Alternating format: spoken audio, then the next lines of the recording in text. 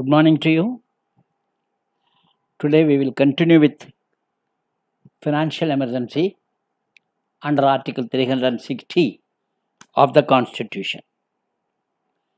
In the last class, we have seen how the financial emergency is to be approved by the both the houses of parliament and the validity is two months and it is once approved it will continue indefinitely. We have compared with the 352 and 356 what is the difference we have seen? Today we will see the effects of financial emergency.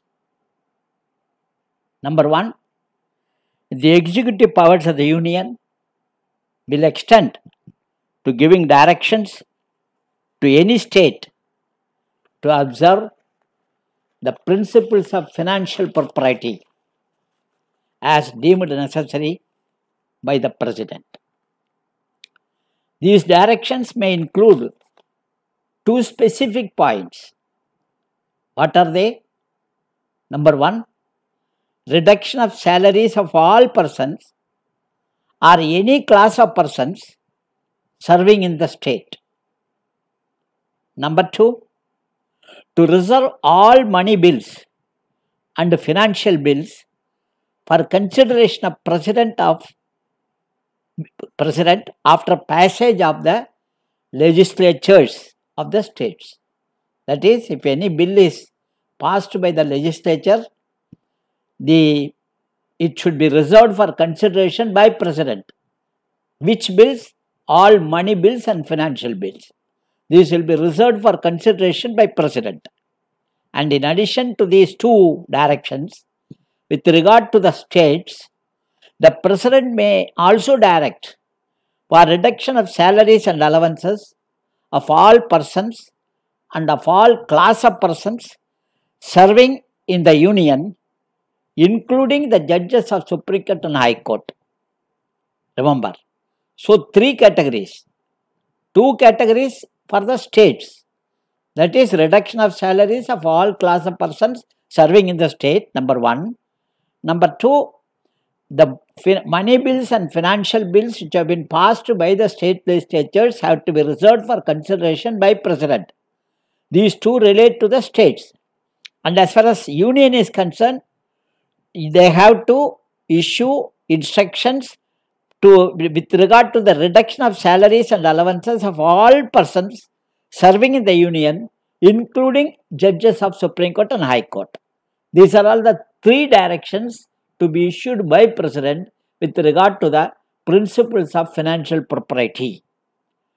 This article more or less follows the same pattern of National Recovery Act of USA, which was passed in 1933 in the face of the Great Depression of 1930.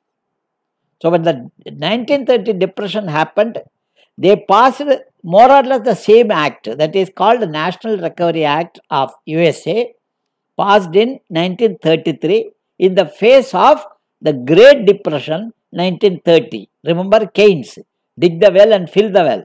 So, this is the situation 1930. At that time, the same type of law was passed that has been taken in the financial emergency. No financial emergency has been declared in our country so far. Remember, the language of the Article 360 is totally, you know, vague. In the sense, they simply say the, the principles of financial propriety should be communicated. What is the principle? It has not been laid down. And whatever is placed on the table of the House, the members of Parliament have to agree. You know, it is a very difficult situation. So instead of becoming panicky and making the uh, people more panicky, we should think coolly what is to be done. Because that is the reason, in spite of the fact that there was slowdown 1991 in our country, 1991 gross slowdown, then 2008, 2011 and 12, and even now, we are not declaring the national uh, this what is called financial emergency so far because once you declare that you are bankrupt no country will give you loan because your capacity to repay will be in doubt Once your country's ratings are down, then the, it is gone. Your, your economy will gone. So, instead of creating panicky, and the moment the people become panicky, they will withdraw all the money from the bank. See the Maharashtra bank and um, see the all NBFCs. So to stop this, you should keep a you know very cool uh, mindset when the financial condition, when the economic conditions are bad. So this is what national emergency. Now uh, the fact is, even though they, we have faced uh, financial emergency, I mean, uh, emergency situation, financial emergency situa- situation 1991, 2008, 2011, and 12, the country never proclaimed financial emergency. But remember, at the same time, we have taken the measures like fixed deposit, compulsory deposit scheme, putting all arrears of DA in the Provident Fund, freezing of LTC, freezing of reimbursement, reimbursement of medical expenses. Even now, 30% of salary deduction for the constitutional authorities. Of course, voluntarily. And all the government servants have been requested to donate to the Prime Minister National uh, Fund or PM's Care Fund. So these are all the measures normally taken during financial emergency. Without declaring financial emergency, we have taken these measures. So what I want to emphasize is financial emergency has not been declared so far in our country with prudence, not because they, they did not understand the seriousness. With the prud- abundant prudence, they have reserved this without being declared. That is the point you should remember. So, to sum up, remember, we have seen three types of emergency in part 18 of the Constitution. One is national emergency under Article 352, second is state emergency under Article 356, and financial emergency under Article 360. The national emergency, as you know, is imposed on the threat to the country, threat to the security, the threat to the security of the country due to three factors: war, external aggression, and armed rebellion. Either whole of India or part of India. Remember. Secondly, this proclamation is to be approved within one month by both the houses of parliament. Such a proclamation is valid only for six months. The approval is to be by special majority. It can be renewed for indefinite period every six months by similar procedure by similar special majority. Total federal character is destroyed and the country becomes unitary one during the national emergency under Article 352. On the other hand, state emergency under Article 356 is imposed in a state where the state administration is not run in accordance with the provisions of the Constitution. It can be imposed only on the basis of the report of the governor, S.R. Bommai versus Union of India. This should be approved by both the houses of parliament within two months and valid for six months initially, and the approval of by similar majority is necessary. This can remain in force initially for one year, another two years through four six monthly extension can be done if there is a national emergency in vogue, either whole of India or part of India, and the election commission certifies that it is not conducive to hold the election in the state. So, the maximum period is only three years. Very important factor.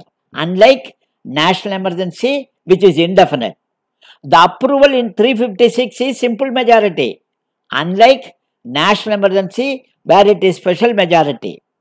The impact is only in the particular state, unlike the national emergency, where the impact is whole of India.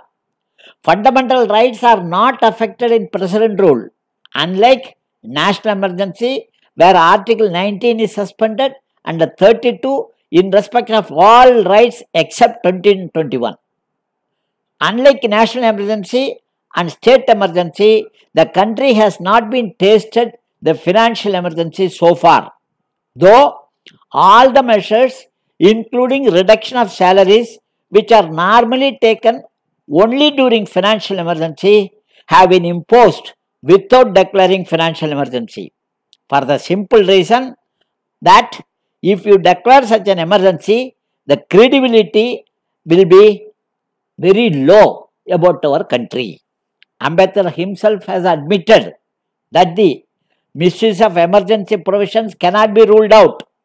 In these circumstances, eternal vigilance of the people is the price which should be paid for our democracy. So, this is what I want to tell about the three types of emergency. We have seen all the three types and we have seen how the emergencies are impacting the national scene. Some president rule only particular state, national emergency in respect to whole of country. Financial emergency, of course, whole of country, but it has not been proclaimed so far in our country. Thank you. We will continue with other class subsequently.